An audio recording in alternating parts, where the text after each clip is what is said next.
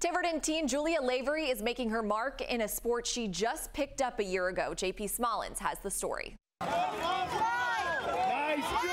She picked up the sport of jiu-jitsu in 2023, and last spring, Julia Lavery making a big splash on the biggest stage, the Tiverton 13-year-old winning a bronze medal at the North American Grappling Association's Kids World Championships. Lots of my family and friends were there to support me.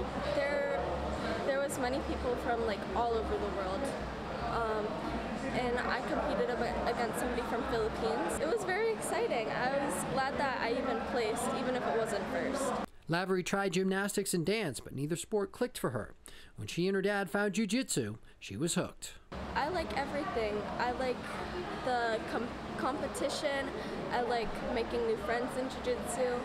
I like doing just grappling in general. Everything about the sport is just so great. There's many people who support me and I just love it. The fall means the start of Julia's competitive season. She'll be taking part in tournaments around the region with the goal of making it back to the NAGA World Kids Tournament and bringing home gold.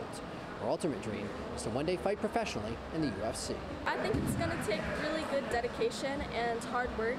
It's not going to be easy, but I'm just going to keep doing what I'm doing and hopefully I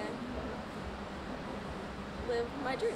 She's a warrior. She's a competitor. Um, she'll grind. That's all it really takes. She just has the, the commitment to do it. She has the desire to do it. That's all it really takes in this sport. She's talented. She's very athletic.